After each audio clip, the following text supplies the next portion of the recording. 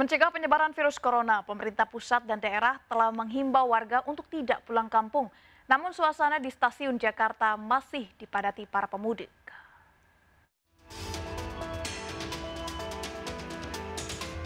Sejumlah calon penumpang kereta api harus antri untuk memasuki peron stasiun kereta api Senen, Jakarta Pusat.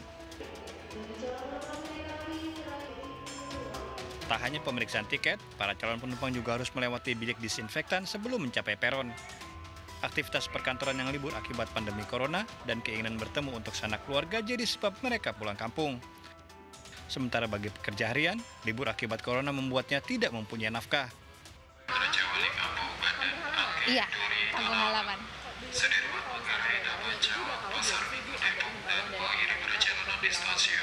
Iya, udah tahu. Cuman gimana ya, orang tua di kampung lagi nungguin, suruh pulang terus.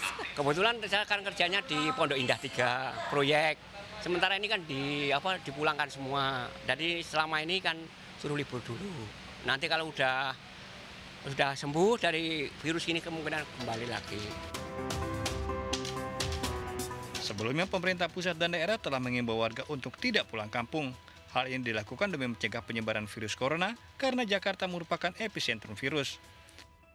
Dari Jakarta, Dinda Utsiki, Sigit Aryo Herdiansah, iNews melaporkan.